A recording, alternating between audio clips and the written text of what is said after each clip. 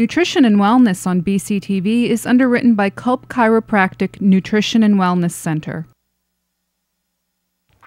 Good afternoon, everybody. I'd like to welcome you to our show today. And today's show is live, so please call in if you have any questions. We are at 610 378 0426. And I'm Dr. Kulp from Kulp Chiropractic Nutrition and Wellness Center. And today we're going to talk about several things, but one of the things we're going to talk about is how do you pick somebody to help you with your nutritional needs? And that's really, really critical to understand. But I'd like to start out with saying that we have now entered our 25th year in practice. And I want to say thank you to everybody out there that has supported our practice for the last 25 years. We've seen many people in the community. And in return, we're having a great, um, we're going to have a great party at our office on the 19th of May, and everybody is invited. And we'll be talking a little bit about what we're going to do that day. So just give you a little information about myself. I've been in practice as a chiropractor for 25 years, and I've been practicing nutrition as well. And I am board certified, clinically licensed uh, nutritionist. So if you have some nutritional needs that need addressed, you can call our office or stop in and see us. And we also have a health food store right out here on Morgantown Road and we are four doors down from Queen City Diner. and we are having um, our hours for the store are open on every Saturday. We're open from 10 to 2 for your conveniences. And we're going to have some great giveaways at our open house, which we'll talk about in a little bit. So one of our goals is to start to get people to understand what is nutritional counseling. It is a vague buzzword these days. Many people can do it. You can go online. You yourself could get a certificate that says you're a nutritional counselor, and you could get that in a couple weeks online. That's really not what I do. I'm a licensed physician that I also have a specific degree in clinical nutrition, so I work with patients' nutritional needs and dietary needs and help you get the care that you need. So it's very specific. I can run blood analysis, which we do a lot of blood testing to determine where the problems are started from, what systems may be affected, what body parts might be affected, and how we're going to address each of that individually for your needs. Not, we're not selling a product. We're not selling um, a multi-level product. We're not selling. We're selling service and time that we can work on your specific problems that you might have. There's a lot of health issues patients have. We, have, we treat things from patients with diabetic to gut issues, digestion, stomach problems, reflux, GERD. And the key thing that we do that's different than what you're probably experiencing in most medical professions is that they're giving you a medication we're we don't work with any drugs. We're not saying drugs are bad. We're just saying that we're looking for an alternative to utilizing drugs. So in many cases, we can help people work with their physician, get off the medications, because most of these medications for reflux and GERD are there to give you temporary relief, but they've not been meant to take forever. So we look at how can we change your diet, change your lifestyle, change your exercise, and add things to your diet that are going to help you improve your health. Some of the things that we don't understand or don't know is that where do we start? So what do I do? The first thing I do is give you a lot of homework. So I give you a packet of information that gives tons of questions. Questions are the gateway to understanding where your problem came from. How did you get sick in the first place? So we, we, to get well, we work from where you're at now and we work backwards. And that process in my office can take upwards of an hour long visit to decide what is your symptoms today and when did they start and when did you last feel really well. That way we can figure out what happened in that interim time, what went wrong, what changed in your life, what stressors happened, what lifestyle changes happened, what diets happened, things that'll happen to patients that'll be stressors are kind of like a domino effect. One thing starts falling and then the next thing falls and then the next thing falls and they continue to fall and the next thing you know the patient wakes up one day and they're not feeling well. So maybe they lost their job and then they stayed home and they started eating more and they had to give up their gym membership and then they didn't drink as much water because they always congregated by the water fountain at work. So we look at these things and say, how did that incorporate into your health? And then we look at your physical health, your mental health, your spiritual health. Uh, we look at your family relationships. We look at what's going on everywhere. So it's not just come in, I got a headache, give me a pill for a head problem. That's not how it works. When you're doing nutrition, we're looking at all of your systems because they all work together. We think of it as a three legged stool. You have to have balance in all parts of your life to have it function. And then we look at every system. We look at the hormones, we look at the gut, we look at the circulation, we look at the cardiovascular, we look at the vascular system, we look at digestion, we look at mental health, emotional health, and we put all these pieces together and then we try to determine where should we start. What testing do you need specifically related to your problems? So if you're not sleeping, you don't need the same test that the person that is constipated needs. And if you're constipated, you don't need the same person, the same testing that somebody that's looking to lose weight. So it's very, very specific. So that's one of the things we do. We talk to patients about, um, this kind of dates me, when you look at cars that have been around, you can get a Mercedes, you can get a Cadillac, you can get a, a Volkswagen, you can get a Yugo, which is a real old car, um, but a really, really cheap car. And if you have a really cheap car, you can put just about anything in it and make it run. You have a really high performing car, you have a Porsche, you need to put high test gas in it. So we talk to patients about their body. What kind of gas are you putting in your body to run? So if you're putting in Twinkies and cupcakes and soda and you're having three cups of coffee for breakfast or a latte with cream and extra sugar, eh, that's not the best gas to make you run. And then by two o'clock in the afternoon, you're exhausted and you need something else to eat and you need something else sweet to get you going. We may be looking at some other dysfunctions in the body, possible adrenal fatigue are exhaustion based on the fact that you're riding this sugar roller coaster all day long because all you're doing is putting one sweet thing, one caffeinated thing in after the other. in these cases, it's difficult for the body to heal. Our bodies are really, really resilient and they can, we can do a lot of things to it before it starts to break down. But we have to remember we can reverse some of these conditions, and many of them are reversible, and it doesn't mean that you have to be stuck on a medication for the rest of your life. Questions to ask yourself. I start by telling people ask yourself, why do you need help? What is broken? What are you trying to fix? What is your timeline? What have you done before? What are you willing to do? One of my questions for every patient is how much are you willing to change? So if somebody says, I'm not really willing to change my food, and I'm not really willing to add any exercise, and I'm not really willing to live different, that's a pretty big clue. You're not really willing to do too much to get better, that you're looking for a miracle. And you know, we don't we don't have any miracles that we can give. We can give lots of education, lots of direction, and you can create your own miracle there. Um, we talk to patients about depression. There could be a dozen reasons for a patient to be depressed. It could be a chemical imbalance in their brain. It could be they drink too much alcohol. It could be that they eat poorly. It could be that they don't get enough sleep. It could be a neurochemical imbalance. Um, it could be that they're deficient in specific nutrients that they need. So when we find the core of where their problem is, we again, we work backwards and we try to figure out what's broken. So after you tell me why you're there, then we look at what are we going to do to fix why are you here.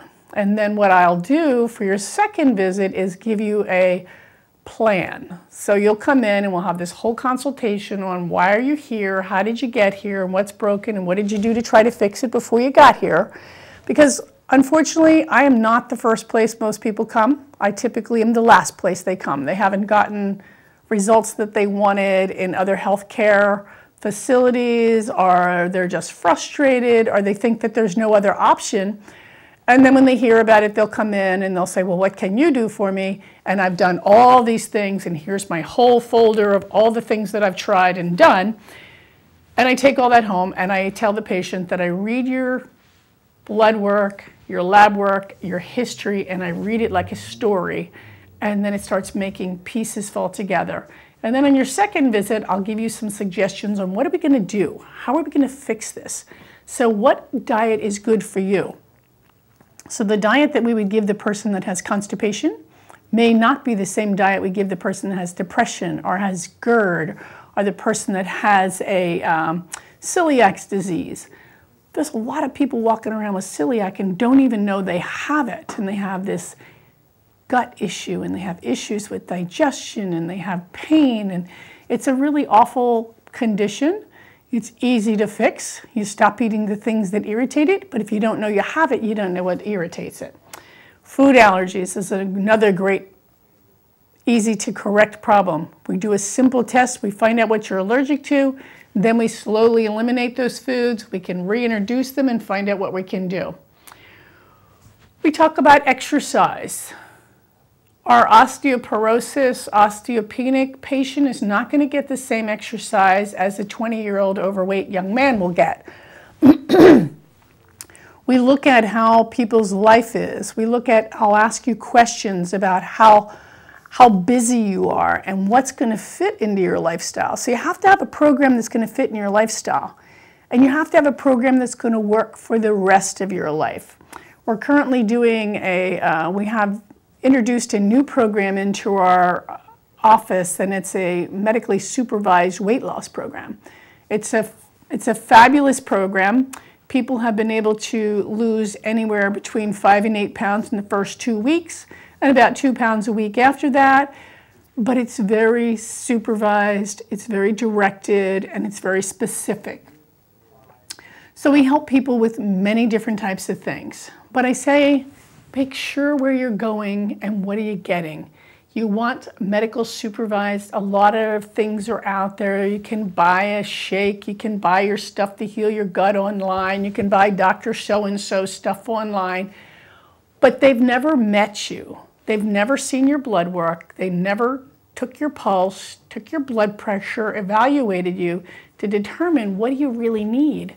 I had a patient come in the other day and is taking so much stuff. She's getting several billion servings of probiotics a day because she's decided that she was going to manage some things on her own. Not necessarily the best thing. So we will make a customized program for everybody. We look at specific exercise programs. We treat a lot of patients with osteoporosis and osteopenia we need to exercise, ladies and gentlemen. If you have these diseases, you're not supposed to not exercise. You need light, weight bearing exercise. And if you're over 50, we talk about stability exercise. I have a great associate working in my office with me, Dr. Steven Zellers, and he does some wonderful individualized, customized programs for exercise for patients. And what we'll do is we'll make a program designed for your needs, and then we will teach you the program, and then we print it out and give it to you, and you do that at home. And it's a self-care program. So we offer a lot in the way of getting people to be responsible for your own health care. Healthcare is not something the doctor has a handle on when it comes to like, we're going to do it for you we as physicians give education and the patient has to implement it into their lifestyle. And the type of nutritional wellness type care that we offer is really in the educational realm and getting you to take responsibility for your lifestyle and correcting these problems that you have. So if you need a specific program for exercise, we can help you with that as well.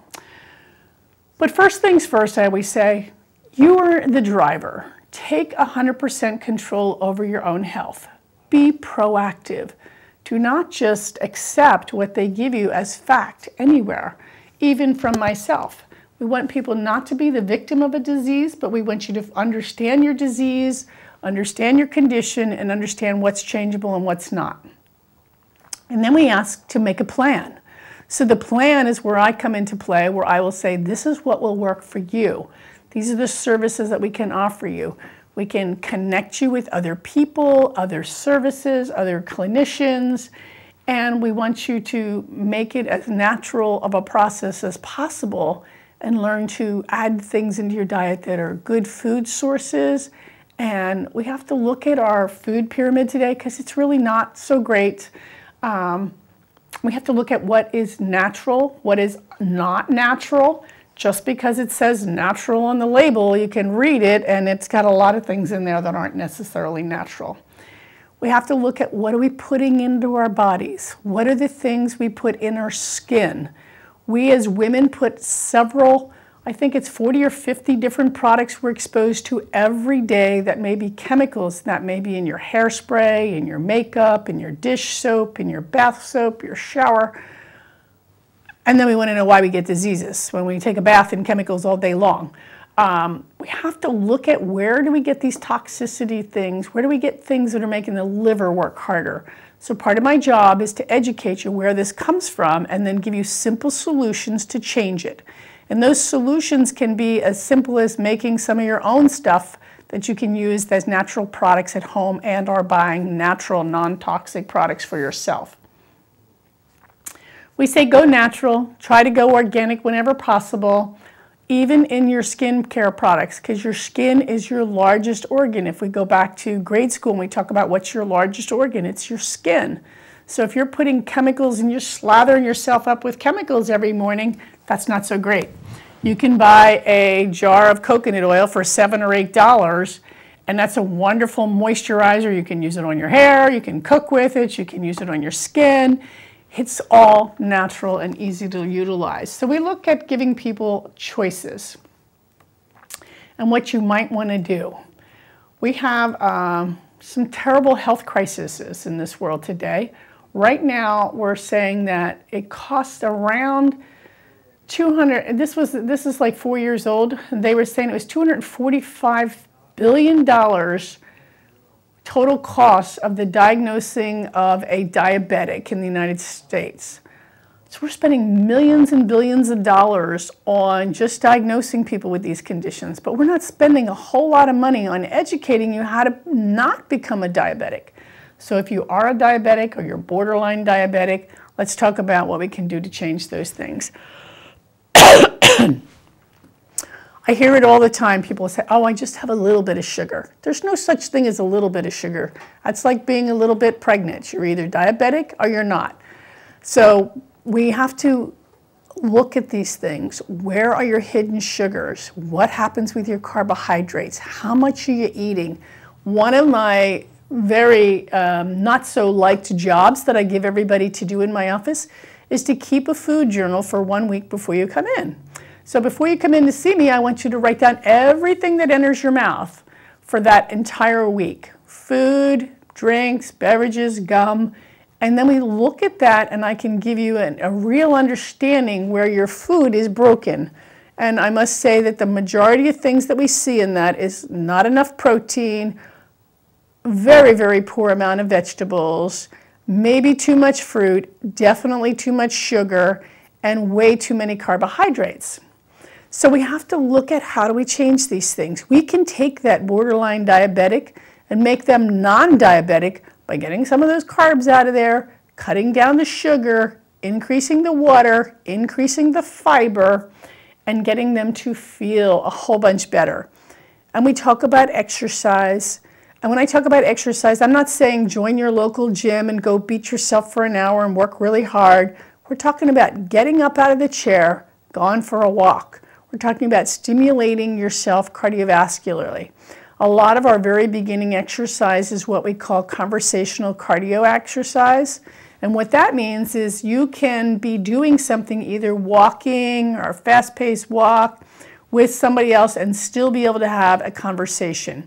You're getting the heart moving a little bit, you're getting your circulation gone, but you're not pushing yourself too extreme. So if you've never exercised or you don't like to exercise, the conversational cardio is a nice place to start. So we have to start somewhere. You can't start at the top on all these things. So it's important to start with a simple exercise plan. We work with your physician, so if we are working with you for diet or weight loss or specific changes, lowering your blood pressure, lots of things will happen. You may come in and you're taking five or six medications. So we will specifically share with you what we expect to happen and then also have you share with your physician what will happen. And when you start losing weight, maybe your medication will be needed to be adjusted. I don't do medication, so I sent you back to your primary physician or whomever prescribed the medication, and you work with them to lower the medication. So we work together on getting you well, and for some reason, if we find something that needs some other care, we'll send you back there as well. we don't work with just diet. So people will say to me, oh, I'm going to get healthy. I'm going to go on the latest fad diet. And one of the biggest things we found recently is everybody watched a video or a documentary on how cruel animals are treated and everybody's becoming a vegetarian. I've met several really, really sick vegetarians since this has happened. It does not mean that you just don't eat meat. Because when people don't understand vegetarian diets, they just stop eating meat, so they stop eating protein and they eat more carbohydrates and they eat more fats and they eat more bread and they eat more non-meat products or non-dairy products and they get themselves into trouble. So if you want to get off of meat, I say you need to replace it with something else that's a protein. So you have to understand how much protein your body needs, when do you need it, and what are you eating it with. Uh, we'll have people that will um, they'll have be eating, you know, quarter pounders every day and then all of a sudden decide that they're no longer going to eat meat and then they go to the burger joint and they ask for a burger without any meat and they're getting bread, ketchup, mustard, mayonnaise, lettuce, tomato on a roll and that's what they're eating and thinking that they're replacing their food. You're really not. You're just making yourself sick. So we look at how we're going to fill this in. So I give people lots of suggestions. Cut down the red meat, add more green vegetables, add more fiber. Yes, there's lots of places to get protein, but if you don't like the foods where the protein comes from, you're going to be a sick vegetarian.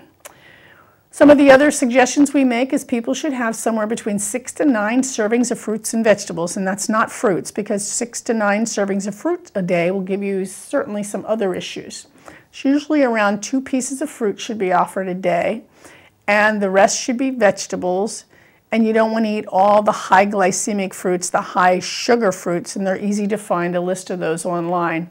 You want to stick to your more low glycemic fruit type things. But when I say vegetables, people don't, you know, when I when vegetables come out on a plate, we got a little tiny bit of vegetables. A serving of vegetables is a half a cup to three quarters a cup of vegetables at a time. So we have to look at how many vegetables are you getting on your plate and to get six servings of vegetables a day, that's three to four cups of vegetables to get your six to nine cups of vegetables a day, um, servings a day. And if you're eating lettuce, lots of ladies, oh, I have a big salad every day. The lettuce is one and a half cups equals one serving. So you can't get your nine servings of lettuce from eating your um, salad. And people say, oh, I, I get nine servings of vegetables a day because I have a big salad every day. Well, then you'd have to have, you know, 14 cups of lettuce to make that happen. But that's not what they think. They think that I had lettuce, I had cucumbers, I had onions, I had tomatoes. Those are not servings. Those are just a combination of foods put together. So remember that when you're thinking about, do I really get six to nine servings of vegetables and fruit a day? We advocate people cut down their meat, their red meat especially, and look for better qualities of meat. Buy less meat, buy better meat. You'll find it'll be better. When you cut down on the servings of meat, you'll cut down on your cholesterol rate. You can drop your cholesterol in a lot of cases by just changing your diet and adding a little bit of exercise. Stay away from deep fried foods, foods that are fatty. Um, don't eat the fat on the meat. Real simple. Cut the fat away. Buy less fatty meats. I, when I go to the grocery store, the last thing I want to do is pay for meat that's fat because I'm going to throw it away. So you don't want to do that. Cut out the lunch meats. Buy better quality lunch meats. Eat fish. And if you're buying fish, your fish should be ocean caught fish. So these are just a couple real simple things to add to your daily life you know, have your vitamin D tested. I talk about that almost every show. And every month that goes by, I probably test 30 or 40 people a month. I can say maybe two out of those 40 people have close to normal vitamin D. The rest of them are deficient in vitamin D. We're seeing an insurgence of rickets coming back, which is, we think is an old time disease. But we're finding that people are severely deficient in vitamin D, causing lots of physical problems for patients. So we have to look at that as well. Um, Magnesium's another issue with patients. They're deficient in magnesium and a magnesium deficiency. You won't find that on your CBC. You need to go ahead and have a specific red blood cell magnesium test done. That really gives you a good indication of for muscle pains and joint pains. So we, we look at the whole body and we look at how we're going to fix the whole body, not just your headaches or your gut issue or your back pain. We want to fix the whole body. So I'm going to end here because they tell me again my time is up. Um, we are having on the 19th of March, uh, I'm sorry, 19th of May, an open house from 10 o'clock in the morning till 2 o'clock in the afternoon. I have been in practice 25 years now, and I have some wonderful vendors that have donated some fabulous gifts. We have essential oils we're going to be giving away that day. We have a goodie bag for everybody that shows up. There's no purchase or anything you have to make. We're going to be giving a fabulous cardiovascular screening that's $125 value. And we'll be looking at the endothelium of the tissues and we'll give you some pulse rate testings. We have a, a great program. We have five stations we're going to have patients go to or, or whomever comes to the open house and you and there is no charge for anything we have and the blood bank will be there because we're going to give back to the community again by asking you to donate some of your blood so we can help those in need. Uh, it's a great gift to give back. So we really ask that if you can participate and donate some blood on um, May 19th, we'd, we'd love to have that. And we're going to have the, another local restaurant will be joining us. The farmhouse, we're kind of lined up um, philosophically as far as what we ad, advocate for patients to eat. We, uh, they're going to be providing the food and drinks that day, so there'll be lots of fun stuff to do. There'll be stations to see. You'll be able to meet myself. You'll be able to meet Dr. Zellers. We're going to be doing a foot screening to see if you have any foot and pelvis issues. So if you want to know how your health is doing, it's a great day to come out and get a little mini health check. There's no charge for any of the services that day, and you'll get to take a tour of our facility, and you can see our store. And for those of you that have never been there, when you drive by, it looks like you have to walk up 20 steps to get to the office. That's not true. Go past the steps and there's a driveway and there's a parking space back there. We have 25 parking spaces. So join us on May 19th from 10 to 2 for our open house to celebrate 25 years of practice. So till next month, We'll see you next month, and Dr. Zellers is coming with a special guest next month while I'm off at a cardiovascular seminar. So you guys have a great spring, and hopefully we see spring soon. Thanks again. Nutrition and Wellness on BCTV is underwritten by Kulp Chiropractic Nutrition and Wellness Center.